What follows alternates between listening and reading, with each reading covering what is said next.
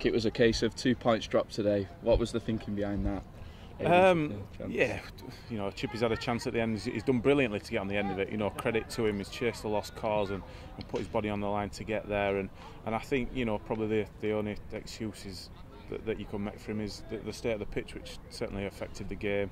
Just trying to settle it down, and that touch was just a bit too big and allowed their defender to get back. So, um, yeah, yeah, obviously Chip is disappointed in there that he's not put it away, and, and we're disappointed. But who's to say? We might have scored. They might have gone down the other end and scored two. So. Um, big thing for us were a clean sheet, back-to-back clean sheets for us. We've not had many of them this season, um, and we looked solid, looked strong, and we had the better chances. Um, it was a performance that should have won us a game, um, but not quite to be today. But take a lot of positives from it. Were a bit further away from that bottom three than we were, you know, at, at three o'clock this afternoon. So um, we're going in the right direction. We've got to finish the job off now. What do you think about your team today on a whole against FC United? I thought they worked incredibly hard. I thought they did what we asked them to do.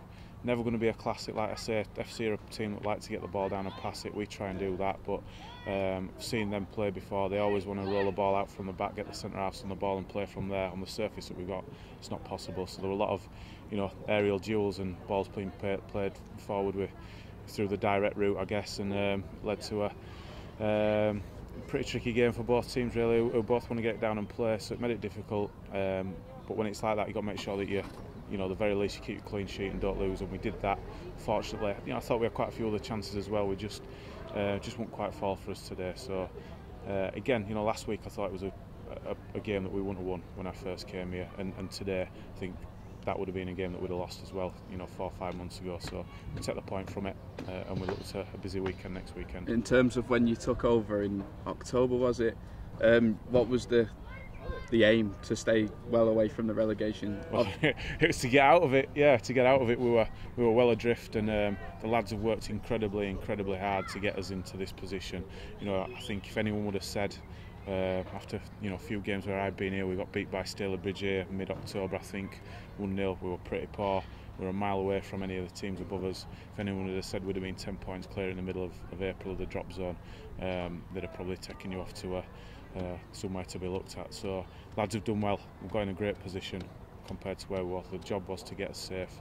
Um, we're still not quite there yet, but we've got a um, chance to finish it off next weekend and, and hopefully we can do that. Have you talked about aims for next season, perhaps?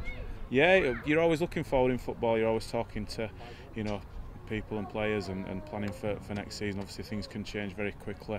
Um, but yeah, the, the main focus on the minute until we've you know got it boxed off and done is, is make sure that we're in this league next season. Because you see today, you know, big crowd in again. Got Stockport coming in a couple of weeks. That'll bring um, hundreds and hundreds with them. It's important that the club, you know, to, to progress the way it wants to, the improvements that we all want to make. It's important that we stay in this division. So uh, we'll get that job done first, and um, and then, then look to the future after that.